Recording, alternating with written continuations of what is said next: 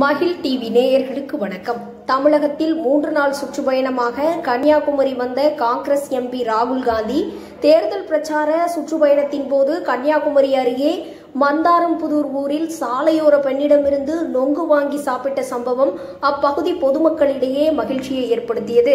Congress MP ராகுல் காந்தி இன்று மூன்றாவது நாளாக கன்னியாகுமரியிலிருந்து தனது பிரச்சாரத்தை துவக்கினார். அதன் அடுத்த கட்டமாக மறைந்த காங்கிரஸ் எம்பி வசந்தகுமாரின் அகஸ்தீஸ்வரம் ஊரில் உள்ள இல்லத்திற்கு சென்றுவிட்டு மீண்டும் நாகர்கோவில் வரும் வழியில் வட்டாரத்தை அடுத்த மந்தாரம் பொது வழியில் சாலையோரம் காரை நிறுத்தி நொங்கு விற்று கொண்டிருந்த பெண்ணிடம் நொங்கு வாங்கி சாப்பிட்டார். அவருடன் காங்கிரஸ் கட்சியின் முக்கிய பிரமுகர்களும் உடனிருந்தனர்.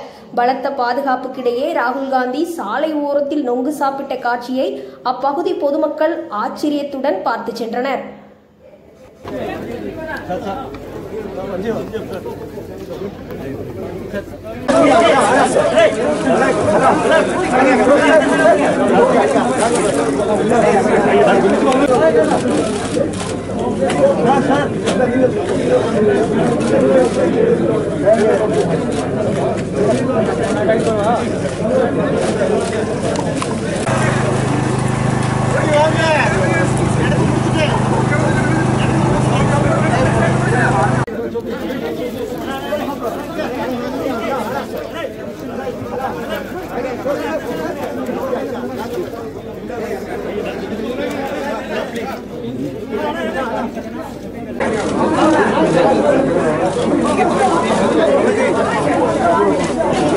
என்ன வினோத் தானே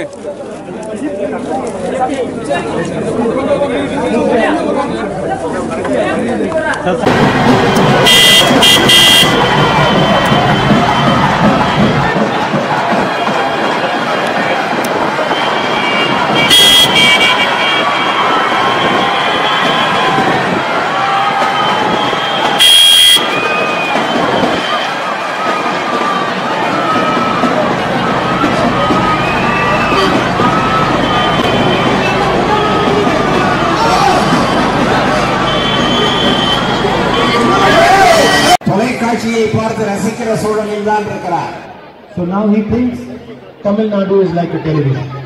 அவர் தமிழ்நாட்டையும் ஒரு தொலைக்காட்சியை போலத்தான் பார்க்கிறார் That he can change the channel with a remote control.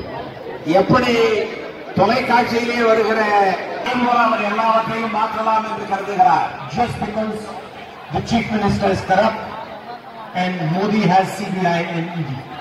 காரணம் என்னவென்று சொன்னால் தமிழகத்தினுடைய முதலமைச்சர் மிகப்பெரிய ஊழல் பேர் வழியாக இருக்கிறார் சிபிஐ வைத்து இடியை வைத்து வருமான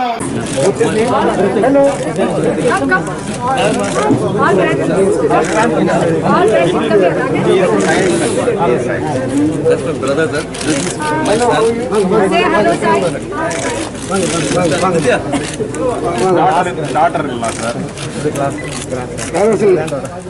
இன்னொரு டாக்டர் இல்லையாங்க நீங்களா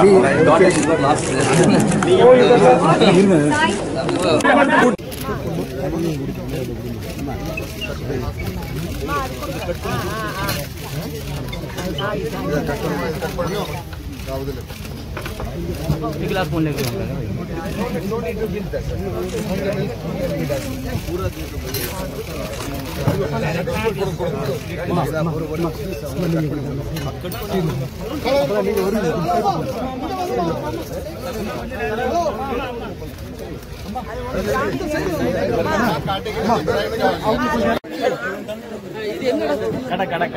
புத்தடி புத்தடி.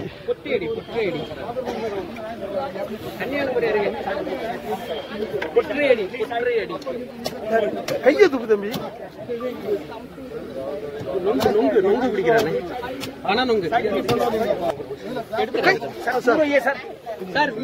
Media sir. தள்ள சார் சின்ன எடுக்க மதியா எடுத்துருக்கேன் ஒரு நிமிஷம் நான் வரேன்.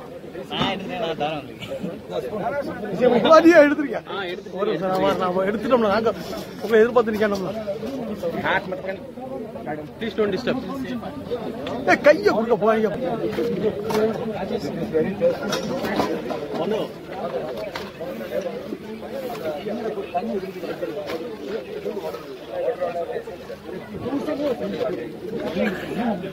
அம்மா